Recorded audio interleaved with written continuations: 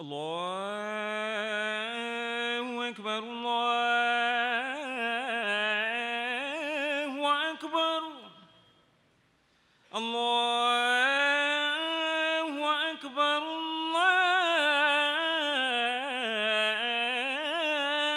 الله أكبر. أشهد أن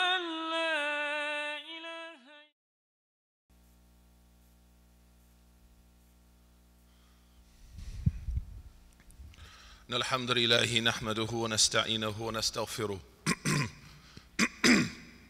ونعوذ بالله من شرور أنفسنا ومن سيئات أعمالنا. من يهديه الله فلا مضل له وما يضلل فلن تجد له وليا مرشدا. وأشهد أن لا إله إلا الله وحده لا شريك له وأشهد أن محمدا عبده ورسوله. صلى الله عليه وآله وصحبه وسلم تسليما كثيرا. يا أيها الذين آمنوا اتقوا الله حق تقاته ولا تموتن إلا وأنتم مسلمون. يا أيها الناس اتقوا ربكم الذي خلقكم من نفس واحدة وخلق منها زوجها وبث منهما رجالا كثيرا ونساء. واتقوا الله الذي تساءلون به والأرحام. إن الله كان عليكم رقيبا. يا أيها الذين آمنوا اتقوا الله وقولوا قولا سديدا. يصلح لكم أعمالكم ويغفر لكم ذنوبكم. ومن يطع الله ورسوله فقد فاز فوزا عظيما أما بعد فإن أصدق الحديث كتاب الله وخير الهدي هدي محمد صلى الله عليه وسلم وشر الأمور محدثاتها وكل محدثة بدعة وكل بدعة ضلالة وكل ضلالة في النار We praise Allah subhanahu wa ta'ala. We ask Him to send His peace and blessings upon our beloved Prophet Muhammad sallallahu alaihi wasallam and all of the prophets from Adam to Muhammad and upon the al of Sayyid al-Awwaleen upon the community of the Prophet sallallahu alaihi wasallam upon his family and his companions and those who follow the path of righteousness until the end of time as Allah subhanahu wa ta'ala warns us وَيَتَّبِعْ غَيْرَ سَبِيلِ الْمُؤْمِنِينَ Allah warns us not to follow the path of other than the believers. فنسأله سبحانه وتعالى أن يجعلنا من أهله. We ask Allah to make us from Ahlillah, from the people of Allah and the Ahl of Sayyidina Rasulullah sallallahu alayhi wasallam. Every day we have a special relationship with something. Every day. It's not our spouse, that's important. It's not our children, that's important. It's not our Blackberry or our smartphone or our email account. Those things we have special relationships with. But every day we have a special relationship with, with something that shapes how we see the world as Muslims and how we see our, our purpose. Ala wa hiya Surah Fatiha. Surah Fatiha. At a minimum, we read it 17 times a day at a minimum if we're establishing the obligatory prayers. We have a special relationship with this surah. You know, there's a study that was done. How much time do people spend in front of the television in, in an average lifespan? How much time do they spend in their car in an average lifespan? Even how much time do they spend in the restroom? There should be a study done, done how much time we spend with Al Fatiha that will make it clear to us like how important this surah is, this chapter is. And that's why Al-Hasan al-Basri, as related by Shaykh al-Islam uh, Ibn Taymiyyah, he said that Allah subhanahu wa ta'ala sent 365 books فَجَمَّعَهَا and he collected those four books, those 365 books into four books. Torah, Zabur, Injil, and Quran. The Torah, the Injil, the Psalms, the New Testament, and the Quran.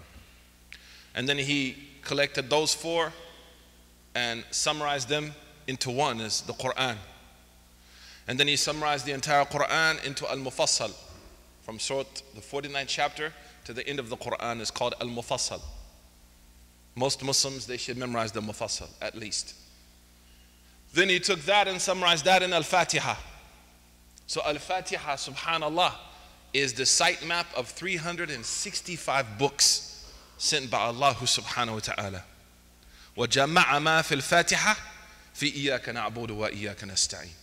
And all of that was summarized in the statement إياك نعبد وإياك نستعين. Surah Al-Fatiha. We, we should look at the Quran as something that we have a relationship with. That's why some of the ulama, they said, some scholars, they said, in Surah Duha, when the Prophet ﷺ was sad, actually he was sad because he missed wahi. He missed revelation. He missed the Quran. He longed for the Quran. Umm Ayman, radiallahu anha, she was a great companion of the Prophet sallallahu and he used to visit her weekly, sallallahu. And when the Prophet sallallahu had passed away, Sayyidina Abu Bakr and Umar, they continued to visit her. And they found her one time crying, as related by Al Bukhari, and they said to her, Don't you know that what the Messenger of Allah has with Allah is better than what he had in this life? And she said, That's not what I miss. I miss Al Wahi. Like I miss the Quran. I miss the Quran being sent to the Prophet. I remember once there was a sister who was studying where I memorized the Quran, an American sister, and I came around the corner and she was crying. So I was worried. I said to her, Are you okay? Did something happen to you? She said, No, I missed my lesson with my sheikh today. And I was so excited to read the book of Allah to him, longing for the Quran. So, Surah Fatiha has some fundamental principles by which we live by. And the first is helping us see the larger picture. As a community, we lost focus.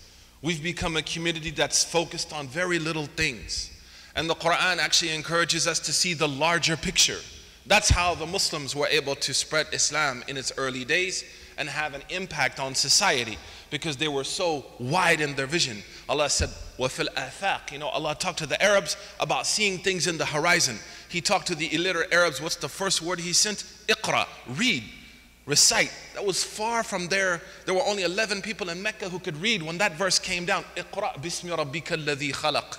So it was challenging them.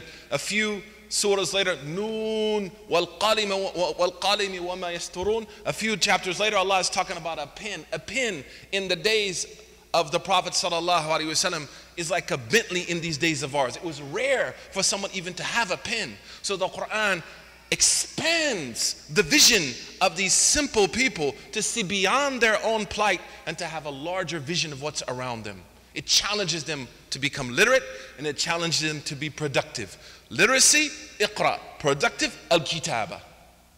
And that's why some of the scholars, they said the Quran is called al-kitab because the master of kitab is al-kitaba. Some scholars, they said that the Quran's name is kitab because the word kitab means to write.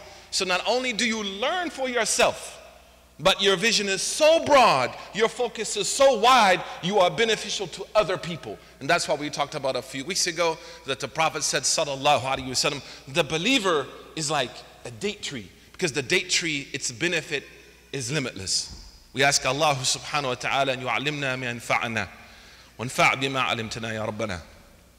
And that's why our scholars, whenever we sit with them, they made this dua for us. May Allah subhanahu wa ta'ala make your knowledge beneficial to you and may He make you of benefit to those you teach.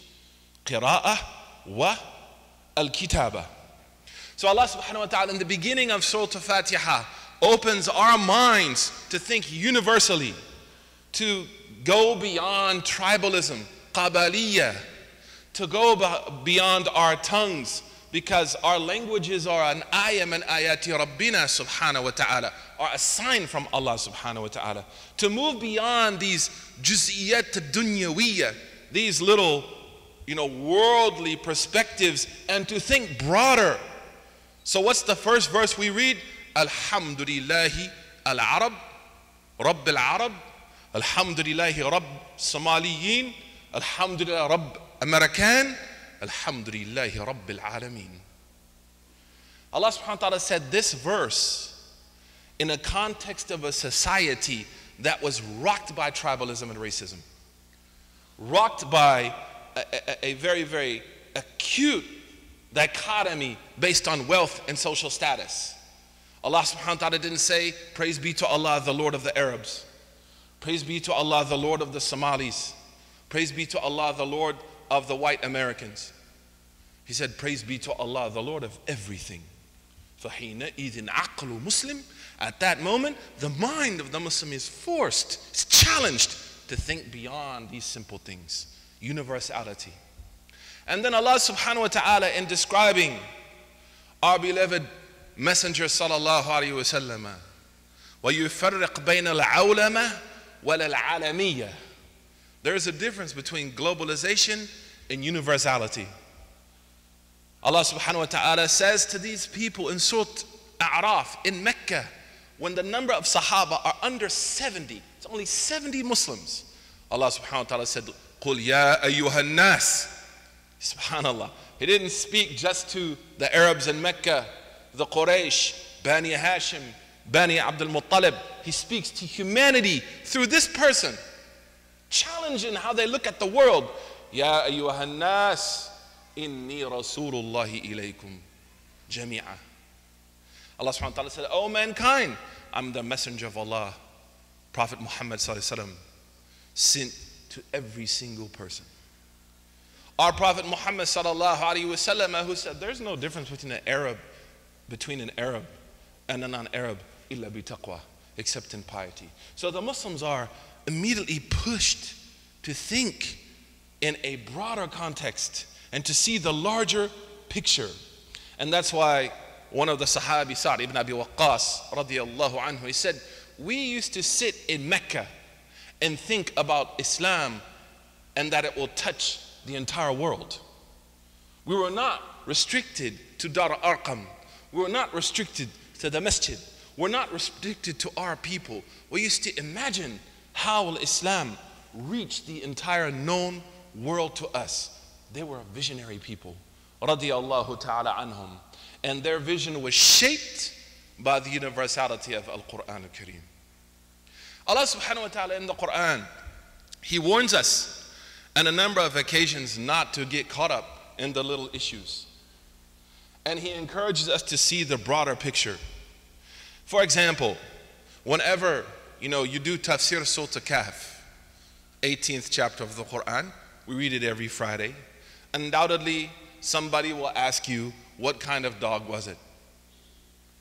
You know, what type of dog was it? I've actually seen people get in a fight in the masjid over, not this masjid, over what type of dog was it? Was it a beagle? You know, was it a Shetland sheepdog? Was it a Rottweiler?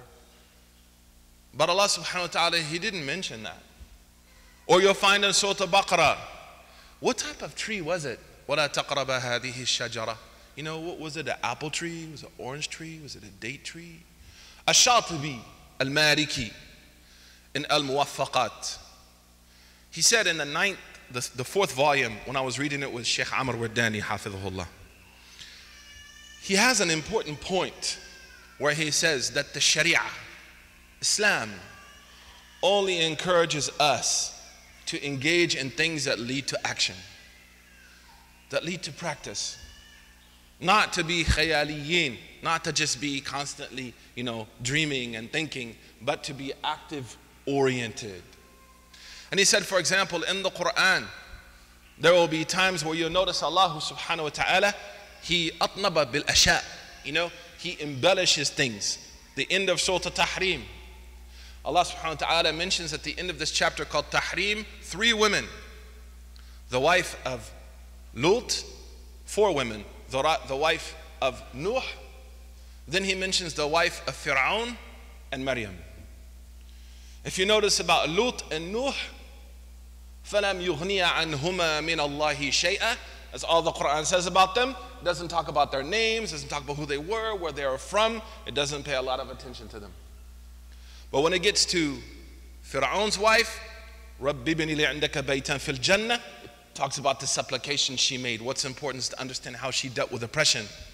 But then when it comes to Maryam, وَمَرْيَبَ the bint of Imran, التي أحصنت لها فرجها. Allah subhanahu wa ta'ala goes into detail. He talks about Maryam, you know, in an incredible way. Why? That's something that you need to pay attention to. It's something that I need to think about, at least to practice, at least to action. People will come to the Prophet wasallam. They'll ask him questions sometimes that have nothing to do with practice, and he responds in a way that leads to practice. His community wasn't a community of gossip columnists. The Muslim community, in many ways, has become a community of gossip columnists. We complain. But when you hear people complain, ask them, Do you volunteer? Do you help? Are you involved? Or just sit around like Ann Landers and answer people's complaints? Ask the people, What are you doing? So the Prophet ﷺ, when the man comes to him and says, Mata ya Rasulallah. Wallahi, subhanAllah, if someone asks this question now, they're going to get in trouble. They said, When is the hour? Somebody came to Muhammad ﷺ and asked him this question in Sahih al Bukhari When is the day of judgment? Now, if someone came into the masjid, when is the day of judgment? We're going to pull out a book of Aqidah Akhi. This question, now you have to take Shahada again.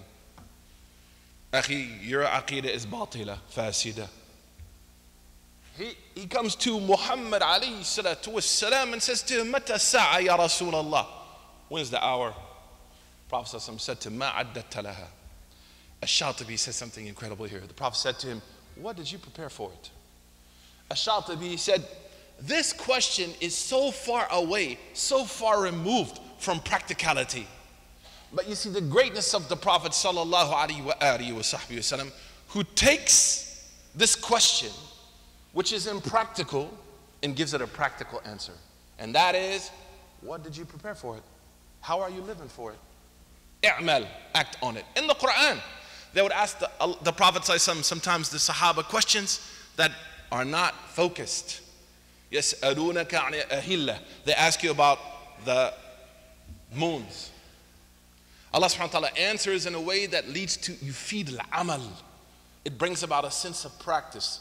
قُلْ هِيَ مَوَاقِيتُ لِلنَّاسِ وَالْحَجِّ Allah subhanahu wa ta'ala responds, it's a way for people to tell time and a way for people to understand when is the Hajj. So here we see Allah subhanahu wa ta'ala, He brings the fa'ida dunyawiyya wa fa'ida ukhrawiyya in one answer, subhanallah. And that's why those responses in the Quran for yas'alunak, yas'alunak, we study them in iftah. Because the best mufti is the one who, when he answers or she answers, brings a benefit in this life and brings a benefit in the hereafter. Subhanallah. So Allah subhanahu wa ta'ala, when they ask him, when is, what's the secret, O Muhammad, behind the moons and this and that, the esoteric reality, Allah said, there are a means to organize your life and there are a means to establish Hajj. He brings both together, subhanahu wa ta'ala. Our beloved Messenger sallallahu alaihi wasallam, uh, he encouraged us not to get caught up in little things, to keep us from the larger picture. When he said, "Kuriha lakum qil wa qal," he said sallallahu alaihi wasallam, you know, it's forbidden for you to constantly talk about things and to constantly, you know, mention things in a way that creates trouble, that breeds trouble. And he said, sallallahu alaihi wasallam, inna a'zam al-muslim. He said the most dangerous Muslim for the Muslims is the one who asks about something, lam yuharram, that wasn't forbidden, but because he or she asked about it, it became haram on the community. Sallallahu alaihi wasallam. And he said, sallallahu alaihi wasallam, very beautifully in the hadith of Abi Hurairah radiallahu anhu, he said, وَمَا أَمَرْتُكُمْ بِهِ فَأْتُوا مِنْهُ مَسْتَطَعْتُمْ What I ordered you to do, do it as best you can. وَمَا نَهَيْتُكُمْ عَنْهُ فَاجْتَنِبُوا And what I told you to avoid it, avoid it. فَإِنَّمَا أَهْلَكَ الَّذِينَ مِنْ قَبْلِكُمْ Because the thing that destroyed you and the thing that destroyed those communities before you was what? Asking a lot of questions of no benefit. Doesn't mean that we shouldn't ask. Because the beloved Messenger sallallahu alaihi wa alihi wa sahbihi as he said to Abu Dharr radiyallahu anhu, كما رواه البخاري, the Prophet wasallam said, the solution to any problem is to ask a question. That's not what he means by asking questions. What he means are asking questions about things that forget the broader image, the broader picture, the broader focus, and don't lead to action, but create trouble for others. We ask Allah subhanahu wa ta'ala to give us a vision. And we ask Allah subhanahu wa ta'ala to help us in order to live prophetic lives in the light of our beloved Messenger sallallahu alaihi wasallam. First and foremost, the Quran illustrates how we should function, how we should think, how, how we can have that focus, and that is that we marry two things together. Tasfiyat al-qalb, having a pure heart with itqan al-amal, with having good actions. And that's why in the Quran, Allah subhanahu wa ta'ala, when He mentions people who earned His wrath, Al Fatiha, or people who went astray, He usually mentions that they have one of two qualities and another, and, and another quality that they're missing. The quality that one might have is knowledge without the heart. مثل الذين حملوا التوراة ثم لم يحملوها كمثل الحمار يحمل أسفارا. Allah subhanahu wa ta'ala mentions about those nations before us that they held on to the Torah during the time of Moses, but they did not act on it. So the heart wasn't there. Then Allah subhanahu wa ta'ala says, وَرَهْبَانِيَ ابْتَدَعُوهَا مَا كَتَبَنَاهَا عَلَيْهِمْ Then Allah subhanahu wa ta'ala talks about those fathers of Sayyidina Isa after he rose to the heavens, how they in- invented rahbaniyah, how they invented this monk hermit lifestyle. So one has knowledge without tazkiyat al nafs, the other has tazkiyat al nafs without itqan al amal, without, without the knowledge, al ilm, So both are deficient. But when Allah subhanahu wa ta'ala talks about the people of God, He says, what about them? إنما المؤمنون الذين إذا ذكر الله وجلت قلوبهم وإذا تليت عليهم آياته زادتهم إيمانا وعلى ربهم يتوكلون الذين يقيمون الصلاة ومما رزقناهم ينفقون جمع بين تسفية القلب وإتقان العمل In this one verse in Surah, the eighth chapter of the Quran, Allah says, Those who believe are those who, when Allah is mentioned, their hearts are moved. The heart is pure. And when the verses of Quran are recited to them, it increases them in faith, the heart. The next verse says, Those who establish prayer and pay charity. So they have the internal and the external, not one or the other. So, how we should start if we're going to have this broader vision is with ourselves to make sure that my heart, insha'Allah ta'ala, is with Allah. And the way to battle the heart is with dhikr and Quran. Dhikr and Quran. The way to shut down the nafs is dhikr and Quran. The way to cast away shaitan is dhikr and Quran. That's it. And ibadah. The second aspect of that is that I should be a person of amal. I should be a person of practice. We ask Allah subhanahu wa ta'ala أن يحيي قلوبنا بالإيمان كما نسأله سبحانه يحبب إلينا القرآن أقول قولي هذا أستغفر الله لي ولكم فاستغفروه إنه هو الغفور الرحيم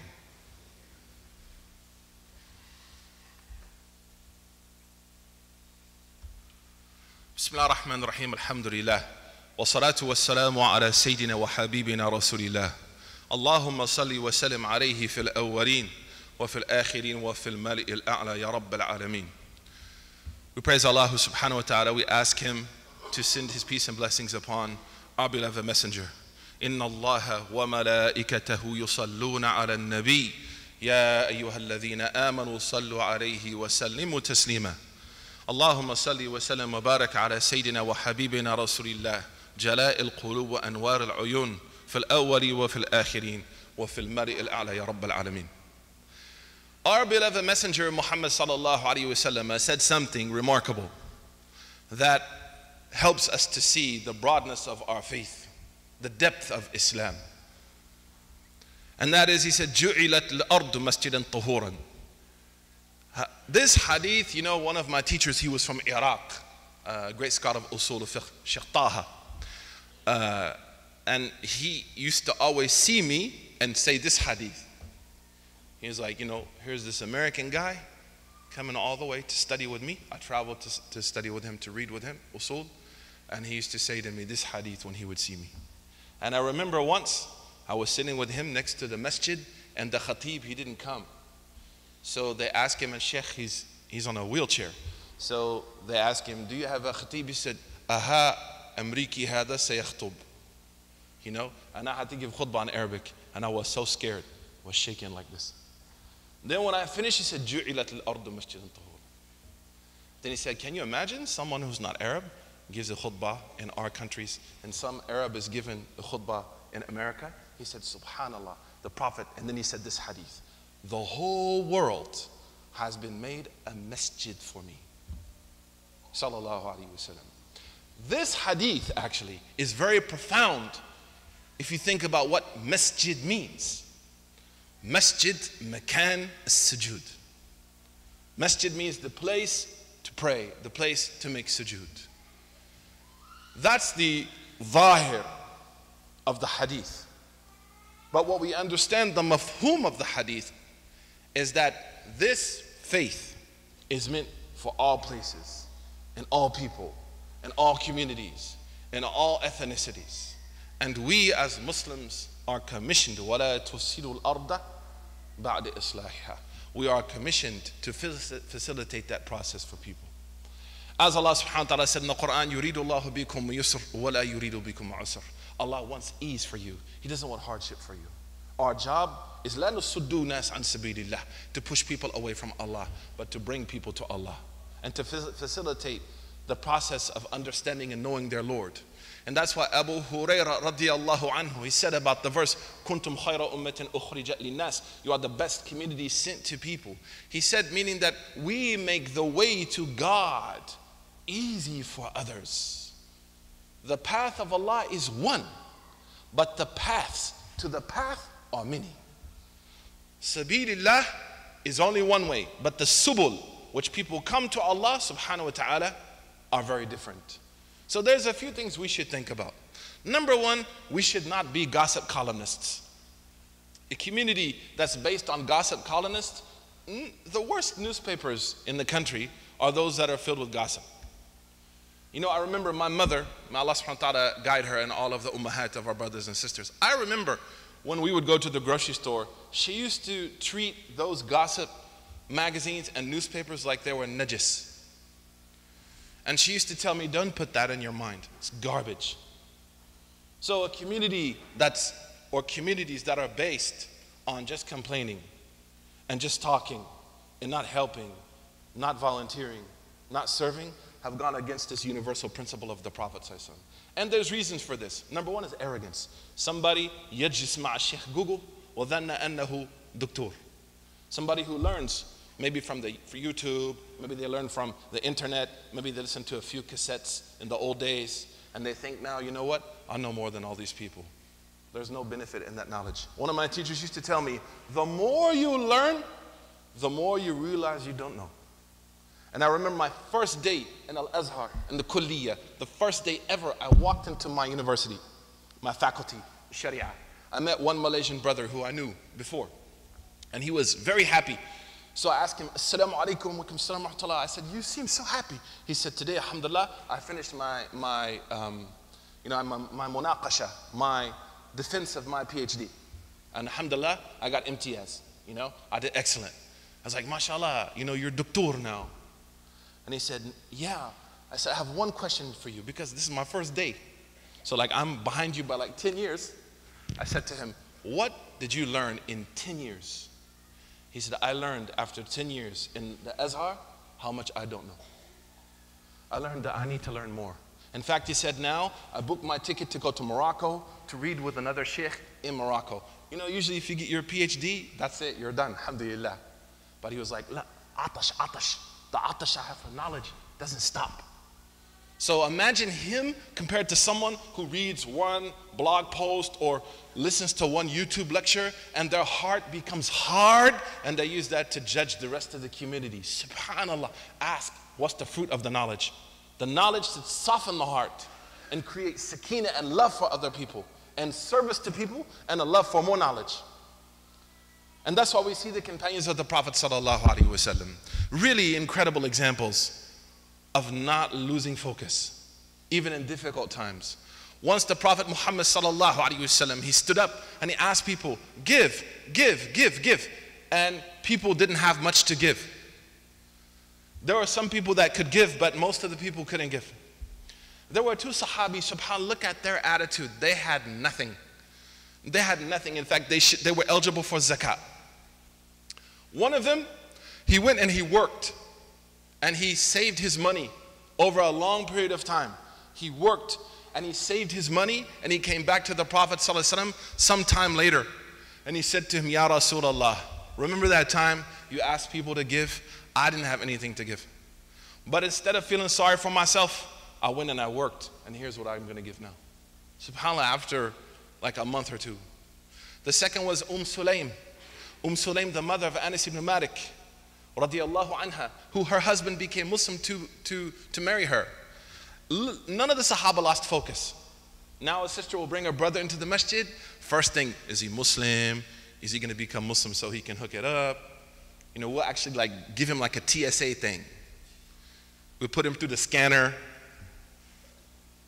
But this man, he came into Medina and he said, Jit li atazawaj Sulaim. I want to marry this girl. And she said to him, You can't marry me. He said, well, You're not Muslim. He's like, Khalas, Uslim. He said, I'll become Muslim. None of the Sahaba lost focus. None of the Sahaba said, Well, brother, you know, there's seven conditions of the Shahada. If you don't fulfill them, you can't be Muslim. They didn't say anything. In fact, watch what they said. Aslam, alhamdulillah. He became Muslim and then he married her. The Sahabi, they coined an idiom. They said, Na'm al mahr, mahr ummi Sulaim. They used to say the best mahr ever was the mahr of Umm Sulaim. Her mahr was her husband's Islam. Subhanallah. They didn't lose focus, and he became a great Sahabi, alhamdulillah. He became a great companion of the Prophet sallallahu alaihi wasallam. That positive attitude, not losing focus, contributing and being part of the greater process, understanding that if we all sit around in our gossip columnists, we're not going to go anywhere but to stay positive. We ask Allah subhanahu wa ta'ala to allow us to appreciate how lucky we are to be given the lenses of Islam.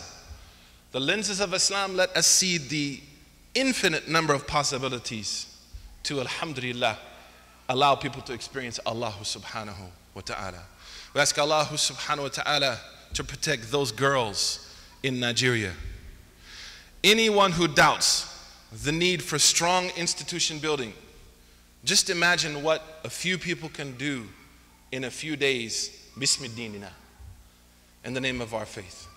And it's beautiful. A lot of young Muslims started writing op-eds and sending, they were, somebody came to me, why don't you write this? Why don't you write that? Why don't you write this? I said, dude, I work 40 hours a week, bro.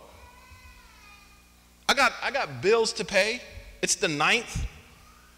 You know, I have children to call overseas, and I cook my own meals. Can you cook?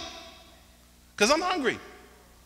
So, well, well, uh, well, then see, if you look at any, any major figure in this country, Barack Obama, he reads 80 newspapers a day, man. Somebody writes his speeches for him. So I said to the brother, write something, I'll look at it, and we can post it together. He said, I never thought about that before. I said, You should have thought before you complained. Help.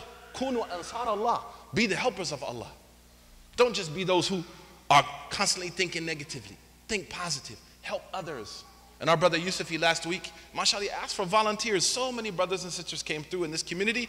We ran out of like being able to let volunteers do things. It's a good sign, alhamdulillah. So we see now people in the name of our religion, whether they're Muslim or not, is suspect as well. We don't even know who they are. But the point is, they're using the name of our faith. To counter that, you have to have institutional impact. So we ask Allah subhanahu wa ta'ala, and yahfadana min ha'ula.